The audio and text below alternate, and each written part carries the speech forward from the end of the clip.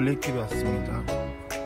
얼마 전에 새로 조성된 연수동 황토길인데 어, 영수동 황토길은 사막동 흥정복지센터에서부터 신기 어린이공원까지 조성된 황토길입니다.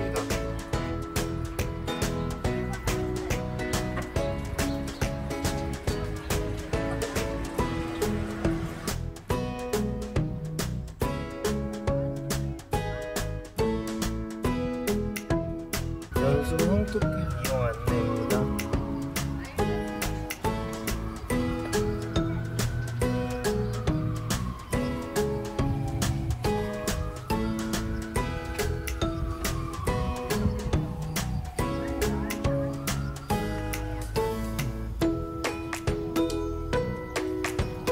신발 신고 보행할 때는 흙이 묻을 수 있으니 가급적 맨발 보행을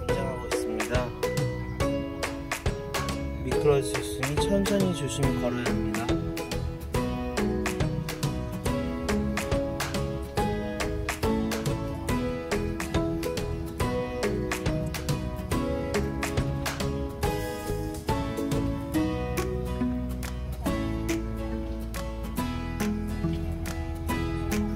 이제 본격적으로 맨발로 걸어보겠습니다.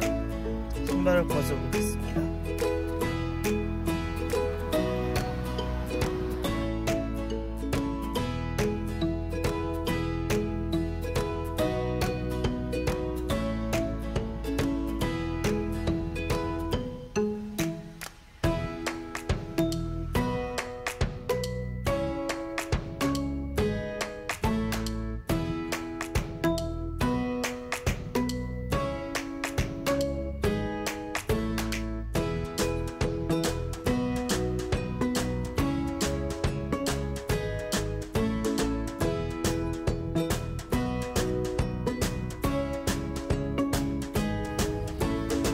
황토길 옆으로 보이는 승기천이 참 아름답습니다.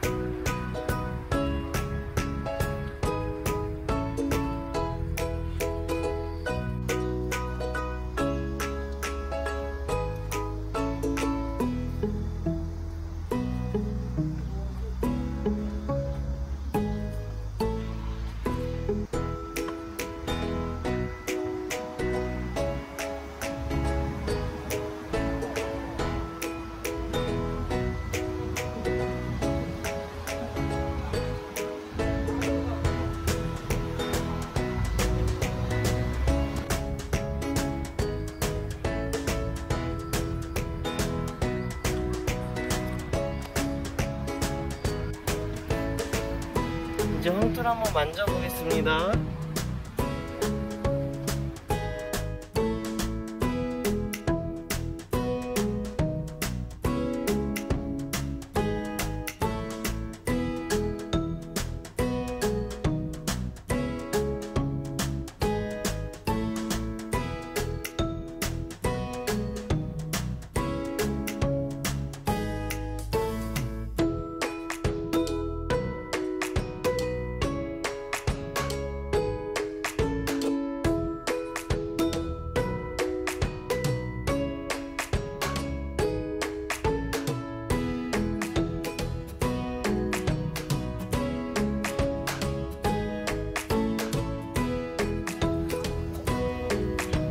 피부가 좋아지는 느낌입니다.